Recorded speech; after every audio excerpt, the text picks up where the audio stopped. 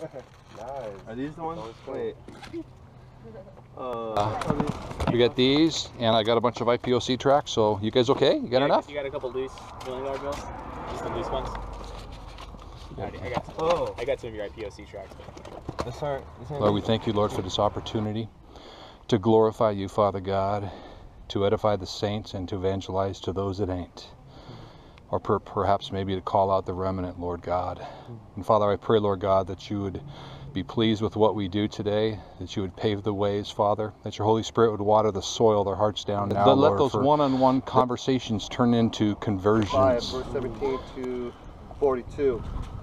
And then this is at the time when it says, when the high priest rose up and all those who were in him, which is select the Sadducees, and they were filled with indignation, meaning jealousy, and they laid their hands upon apostles and put them in the um, common prison.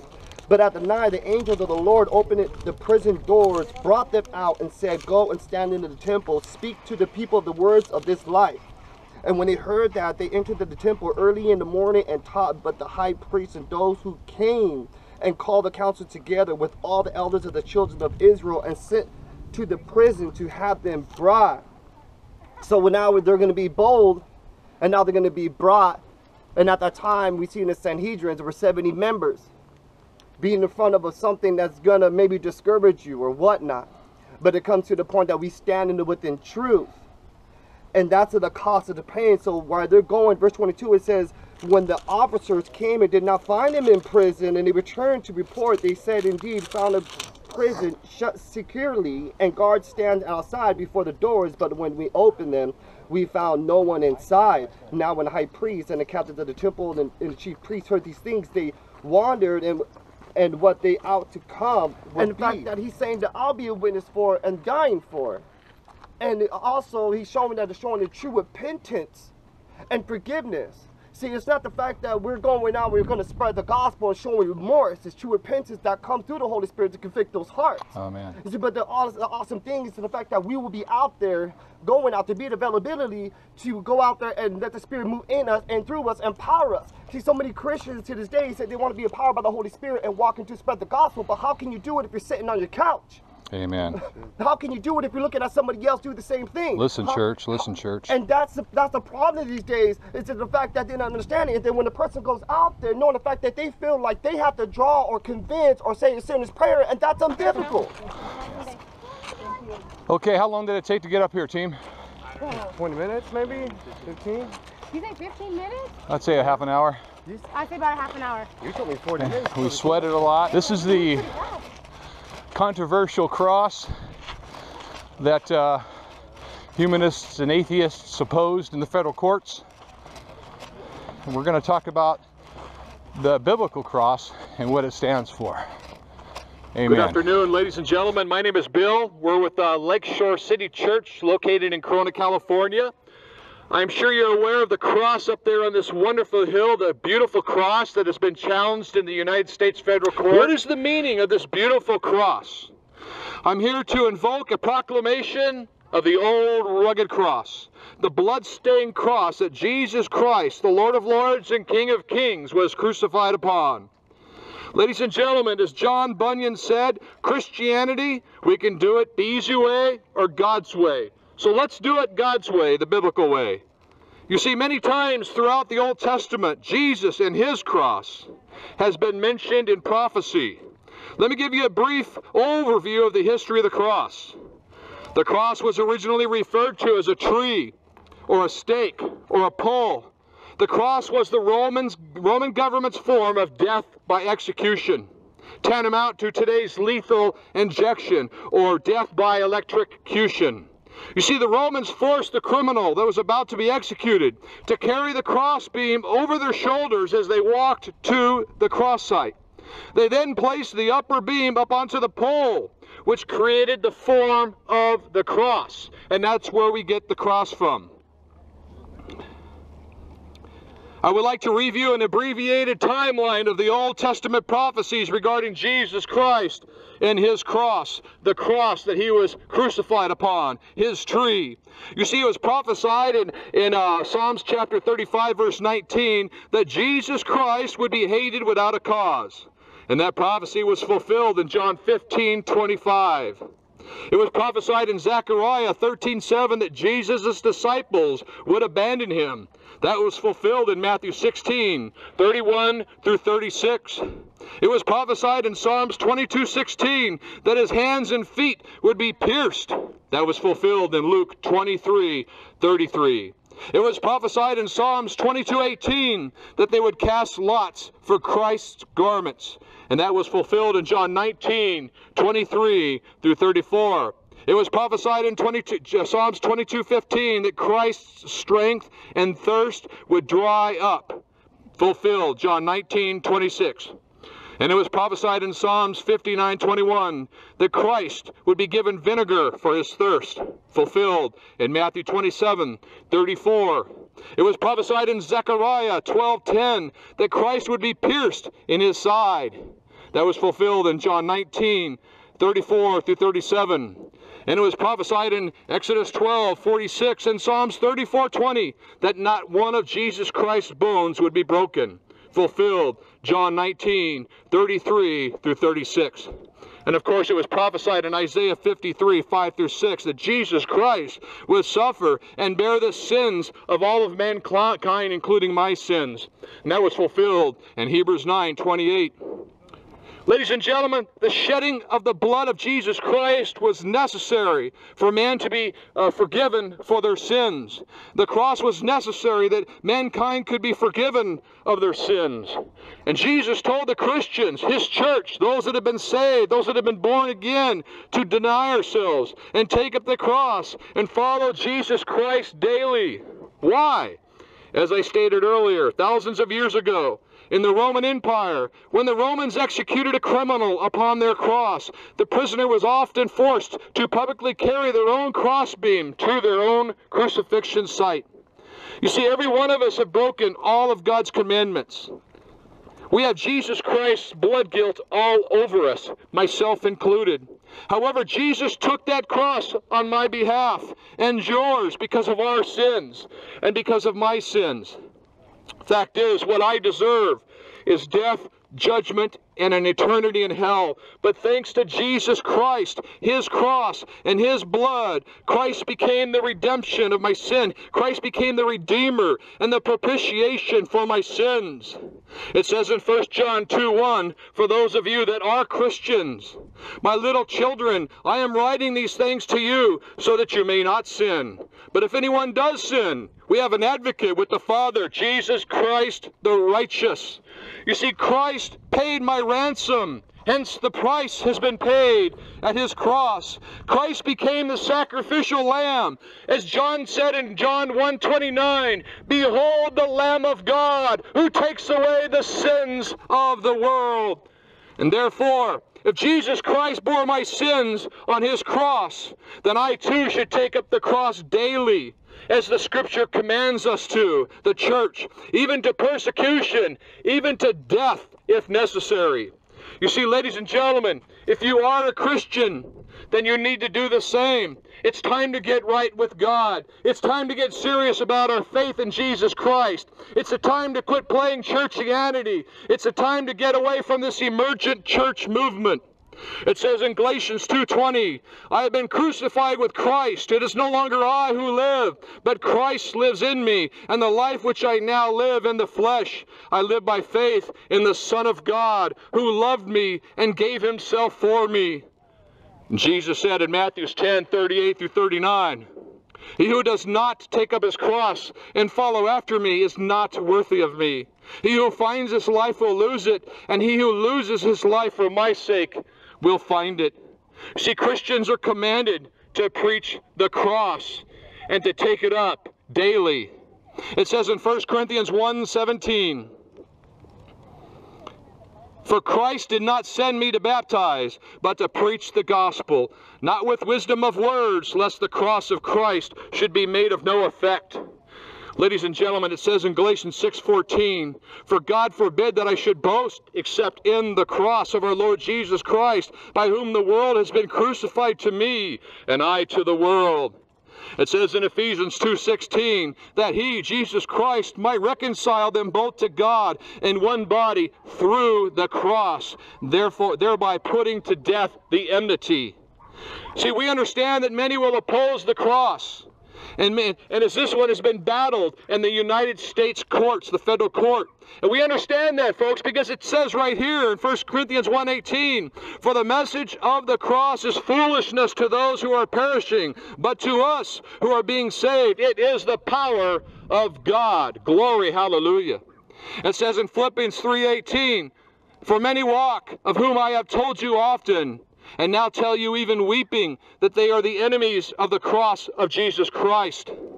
I hope that you're not an enemy of Christ. You see, if we're of the world and if we love the things of the world, it says in James chapter 4, verses 4 through 5, that we are an enemy of Christ. See, the Bible says that we can even have peace through his cross. Not the cross on the hill, but the cross that Jesus Christ died upon. It says in Colossians 1:20, and by him, Christ, to reconcile all things to himself by him, whether things on earth or things on heaven, having made peace through the blood of his cross. Have you ever heard of the phrase, man, you nailed it? Well, Jesus Christ nailed it. He nailed our sins.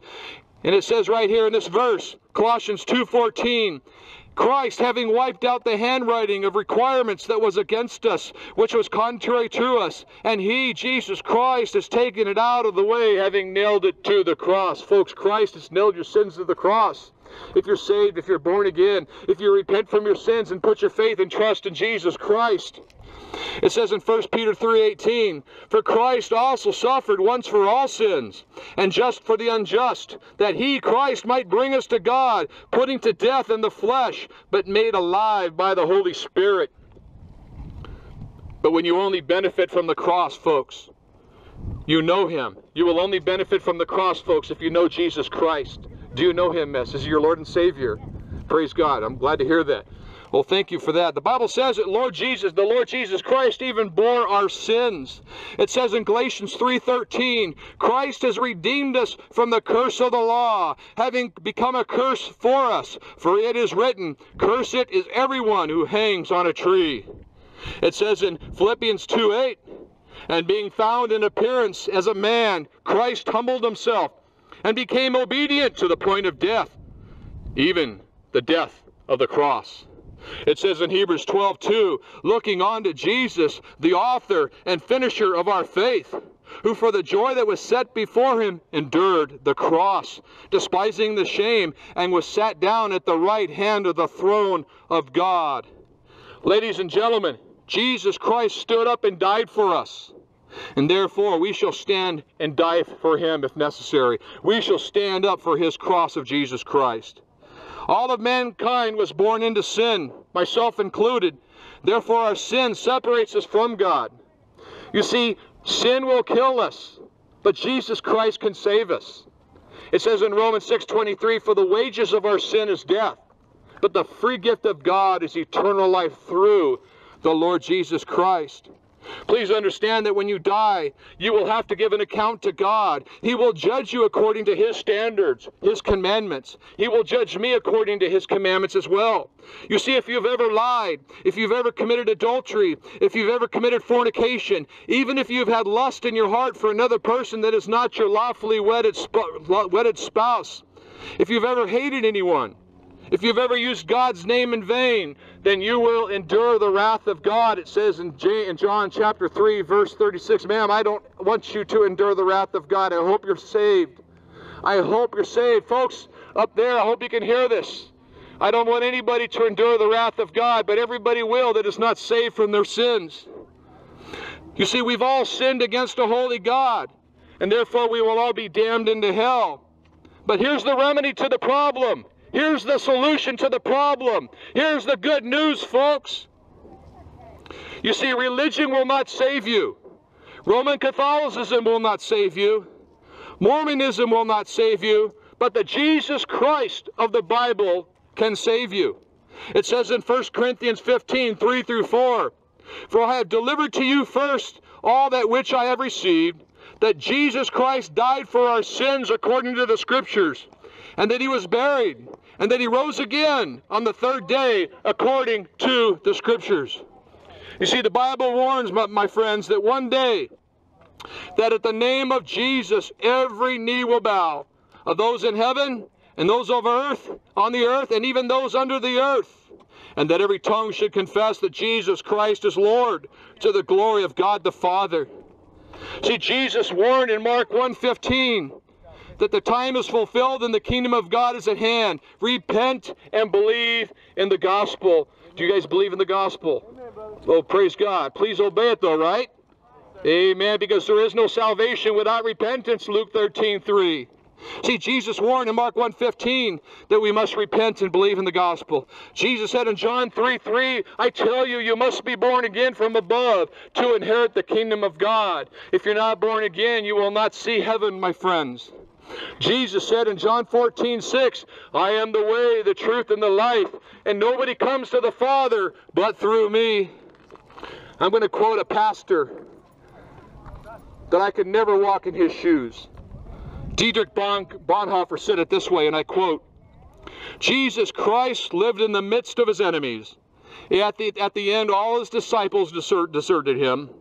On the cross, he was utterly alone, surrounded by evildoers and mockers. For this cause, he had come to be, bring peace to the enemies of God. So the Christian, too, belongs not in the seclusion of a cloistered life, but in the thick of foes. There is his commission, his work. The kingdom is to be in the midst of your enemies. And he who does not suffer this does not want to be in the kingdom of Christ. He wants to be among friends, to sit among roses and lilies, not with bad people, but with devout people. Oh, you blasphemers and betrayers of Christ. If Christ had done what you are doing, you would have never been spared. Close quote. Folks, in closing, don't just believe in Jesus as most churches will tell you today. You must put your faith and trust in Jesus Christ and Christ alone. Don't just believe in the gospel as most churches will tell you today. It says in 2 Thessalonians chapter 1 that if we do not know God and obey the gospel of Jesus Christ, that the fiery vengeance of the Lord Jesus Christ will be upon you. You're not going to hear that in 90% of the churches across America, ladies and gentlemen. You see, we're to put on the Lord Jesus Christ, it says. We're to fear and tremble at the Word of God. Ladies and gentlemen, the Bible commands us to repent from our sins. To repent means to change your mind, to turn from your sins, and commit to Jesus Christ. Man, do you know Jesus Christ? Amen. I love that. Thank you. Praise God. Folks, Jesus said in Luke 13 3, I tell you, unless you repent, you will all likewise perish. Do you hear that in church? Does your pastor tell the congregation that there is no salvation without repentance? And that's why we're here today, folks. That's why Lakeshore City Church has come out here to preach the gospel in a way that, that uh, we, we believe is, is the right way, the whole counsel of the Word of God. It's been said that people on earth hate to hear the word repent, but those in hell wish they could have heard it one more time. Ladies and gentlemen, it's time to get serious. If you're not saved, if you're not born again, call out to the Lord Jesus Christ. And the word call out in Greek means to declare him as your Lord. The word believe in Jesus means to commit to Jesus in the Greek. It means to, to be uh, trusted with. Are you entrusted with Jesus Christ? Please, folks, consider this message. If you have any questions, we have many people over here with some gospel tracts. We'd love to give you some as well as some postcards uh, to invite you to our church as well. We love you very much. All right. The question is Are you a good person? All right, so you have to convince me that you're a good person, and you'll get this money right out of my hands. Any, any taker? We're a church that gives away money. I'm not ready to believe her, but what do you want to ask me a question? I don't ask you a question. Okay. All right. How do you spell shop? Shop? Yeah. S-H-O-P. What do you do at a green light? Stop. All right, you didn't win the money, man. Green light. hey, can I ask you one more question? No. Come on, biggest, the No, biggest I- question. It's the biggest question. What's gonna happen when you die, man? Where you gonna, what's gonna happen? What you, where are you gonna go? I'm gonna go to heaven You're gonna go to heaven because of Jesus. because of Jesus? What did Jesus do so you can go to heaven? He died on the cross. He took my sin for me. penalty for that crime, and then, then justice is served. So what God says in His Word is that when we when we break His law, justice has to be served. Right? The the, the Bible says that that we've all we've all broken His. By the way, I, I've lied, I've stolen, I've used God's name as a cuss word, I've committed idolatry, I've coveted. I've done, I've done, I've broken all the Ten Commandments. All right, I'm the chief sinner. I, I, again, everybody on this hill, I've done it all. I, I admit it. It's gonna be on okay? YouTube. Is that okay with you? Cool. Um, sure. Okay. all right, All right. all right. So, Come on. It's okay. yeah. Sorry, let me. We're, No, you're we're clogging the arteries here. Thank you. All right, so spell the word shop. Shop. Yeah. S H O P. What do you do at a green light?